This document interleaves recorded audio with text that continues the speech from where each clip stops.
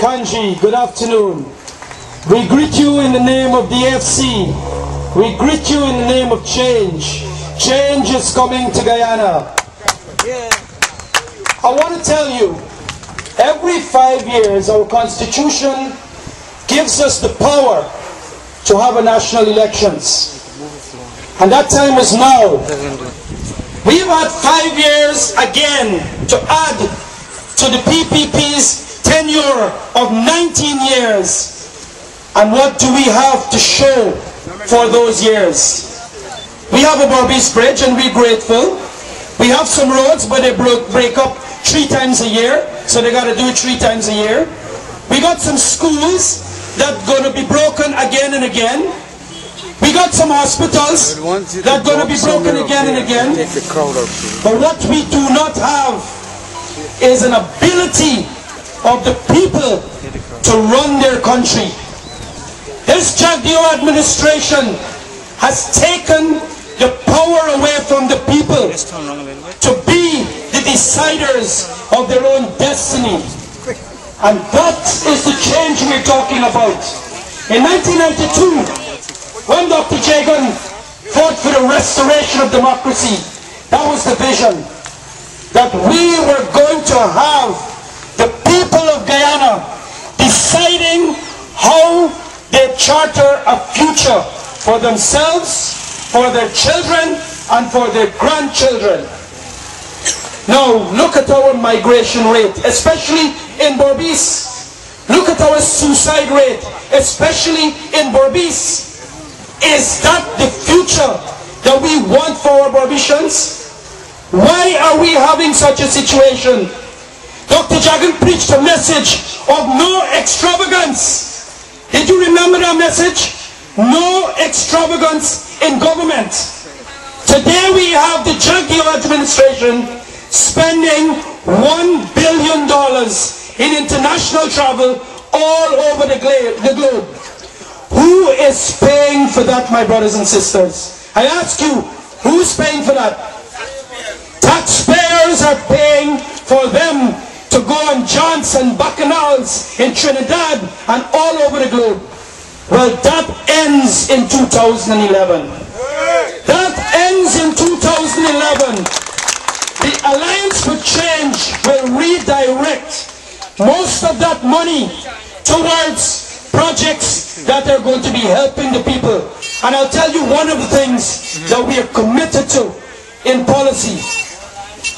Every month, the, those who are over 65 years of age gets a pension of $7,500.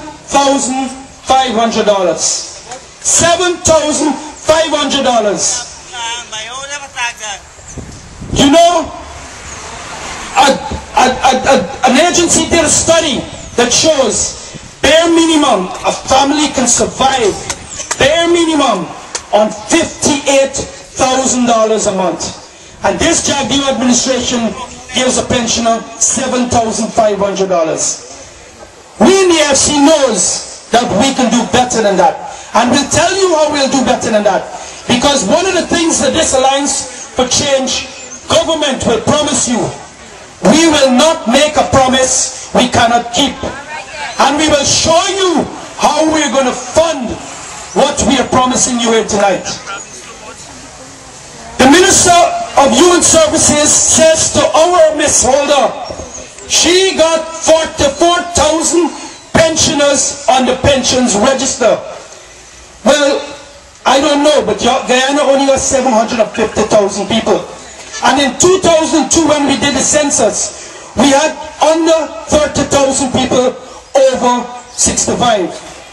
When you check it, Guyana cannot have 44,000 pensioners. We, our growth rate is growing at 1.1% every year. We tell the minister, okay, we can grow it five times that to just give you the benefit of the doubt. You know what we found? There was only 34,000 possible pensioners can be on the list. Where is the pension going for the 10,000 phantom pensioners? Where it is going? We will tell you that money will be pumped back into the pensioners' salary. and it will be we in the FC committing from day one. That $1.3 billion will go towards raising the pension to $11,000 a month for pensioners. It will not be going to the private pockets of public, senior public officials. That has to change, and that is what makes us in the Alliance for Change different from the PNC and the PPP because we understand the pains of the working people of this country. We came from the working class. When you look at our presidential candidate, Mr. Ramjattan, he came from the, the salt of the earth of Berbice. He understands your issues. And we appeal to you to give us one chance. One chance.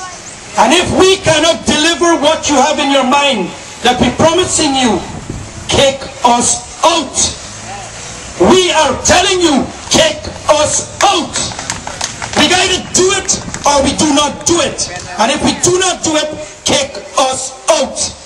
But we're asking you here tonight, give us that chance in 2011 to show the PNC. And let me make this clear. APNU is nothing else but the PNC. It's just a ploy to fool people. The PNC had power for 28 years and they did not take people to where they promised them. The PPP is going on to 20 years and it's just lies and more lies. We are asking you for one term to make a change. We cannot deliver everything or undo all the damage that the PPP has done in the last 20 years. But in five years, we know we will turn the tide in this country. We will turn the tide. You know, the inequity in this country is so vast that that vision that when we had the dawn of the new era in 1992, the vision was to reduce the gap between the haves, which is the rich, and the have-nots. Now, we're not preaching here to make rich people poor at all. We want everybody to get more rich. But we want the poorer class of people to get a bit more of the economic pie that the government has. That was the vision in 1992. Now today, we have ministers of the governments building 100, 200 million, 300 million, and King Kong building 500 million dollar house today. $500 million the Kabaka of today is building. $500 million this house is costing. Which one of you can afford a $500 million on taxpayer money? Which one of you? The Kabaka flies around the world. And I call him the Kabaka because that is how he operates. Like a Kabaka. $500 million house he building with taxpayer money. That ends when the elections is held with an AFC government. And let me put them on notice. Let us put them on notice. All the skullduggery, all the skullduggery they're getting on with. We will bring forensic auditors. Forensic auditors that will look at all the skullduggery one by one. And where the chips fall, they shall fall. Where the chips fall, they shall fall. As I was talking about the pension, I just want to remind you, my dear Mr. Kabaka, and y'all know what we're talking about, right? King Kong. Yes. Y'all know who's King Kong? Yes. But because of the police and stuff, we got, you know, he could sue me, but we can't sue him. So we got to call you King Kong. But y'all know what I'm talking about.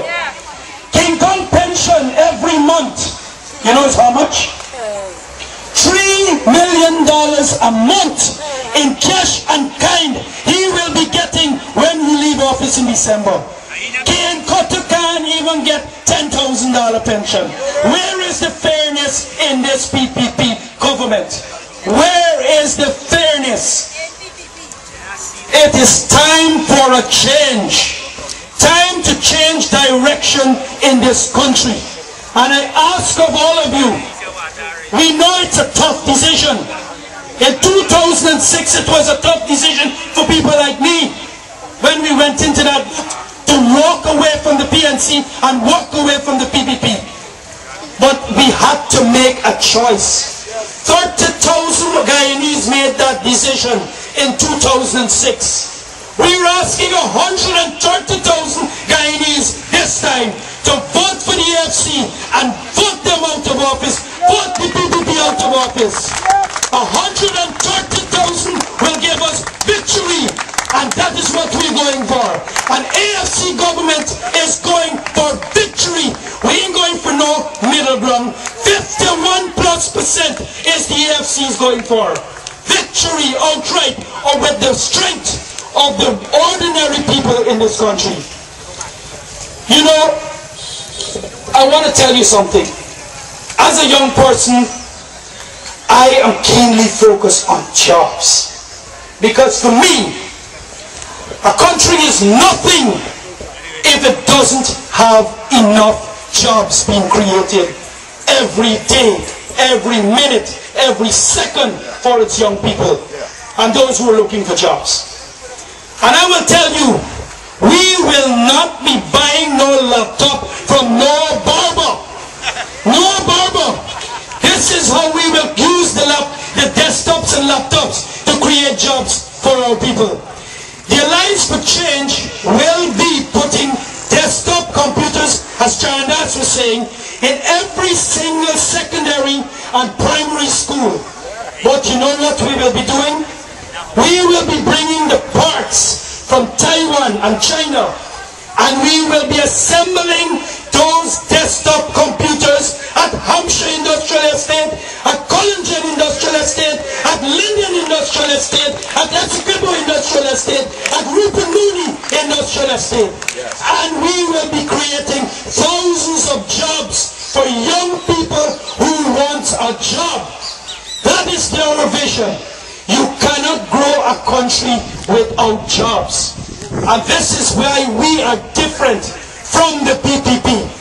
And we all know the PNC is a lost cause. They've been out of government forever, so they don't even have a clue what's going on. Well, this is a fight between the PPP and the Alliance for Change. And we shall change them. We shall change them. You know, in the old days, we used to have regional workshops in all 10 regions. You know those things serve the purpose? When the PPP came into power, they scrap all. They served the purpose. It was the training ground for the young chaps and girls who were coming out to the technical institutes to continue learning their skills in auto electrician, auto mechanic, air conditioning, wiring, all these key skills that a nation needs. Carpentry, mason, whatever. They scrap it all, denying young people jobs. And what they do, they then pawn off all those jobs. To who? To who did they pawn off all those big money jobs to? And contracts? Friends, friends. To the business buddies of the PPP. Cabals. The business cabal that sits around like leechers and suckers around the PPP, sucking your money from you. Well, we shall tell you, we will bring that back. Right the kids, Right the kids, some of them there. We shall thank you, brother. I don't know we gotta find them. But, but, Right the kids, but I tell you something. We shall put those 10 central workshops back as the, the laboratory to train our young people in auto electrician, auto mechanic, air conditioning, electrical work, and all other technical skills so that they can serve this nation sensibly, usefully, and gainfully. And we appeal to you to understand our vision is about jobs, jobs, jobs. That is what our focus on. Ladies and gentlemen, I know there's one thing that bothers Berbician a lot. And I'm coming to a close, but I want to at least touch on that. Crime. Crime, crime, crime. There's a lot of fear in this county of Berbice. We know that. The people tell us about it every single day. When the British government went to the PPP and says, we will help you solve the crime. We will put 1.6 billion dollars to help you fix the crime situation. You know what the PPP tell them? You know what? Give me the money, but we want y'all come. Give me the money, but we want y'all come. What are they gonna do with the money? Tell me! Thief it! What are they gonna do with the money? Tell me! Thief it! Well, you see, the British more smart than them. The British said, no way. If y'all allow we to look it over, we ain't coming. When we talk to the British and we're committing to implement that 1.6 billion dollars in police reform, we don't want to deny police promotion. We want to help them. We want to give them the tools. We want to give them the capacity to be able to more actively fight crime in this country so that we all can go to bed at night rather than being prisoners in our own home. We are right now prisoners in our own home with all those steel grills. We want to stop that where we go back to the days when we can sit in our veranda and open the grill door and not worry that a bandit is going to be jumping on us. Because the police will be functional again. So, reform it is called. Everybody can change and we will help the police change and improve. We will help. Never be afraid. them. We will help. Let them change. And lastly, I want to talk on this issue of racism. Racism. Racism. You guys need to understand this. The PPP will come to you in a month or two time to tell you that AFC is going to split the vote. They will come to you and tell you that the AFC is going to split the vote. But let's make it very clear. The FC is not in the game to split no vote. We're in the game to win the elections. We're in the game to win these elections. We don't interested in splitting no votes. The party has made a policy statement that we shall not join the PNC or the PPP before the elections. And there is a reason for that. There is a clear reason for that.